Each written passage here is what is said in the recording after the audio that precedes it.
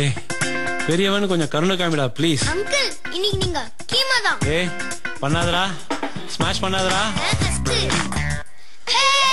இந்த ஆட்டம் போதுமா? இன்னும் கொஞ்சம் வேணுமா? டேய் அங்கிள சும்மா விடுறா. நீ ஜெயிக்கல. அங்கிள் தான் தோத்தாரு.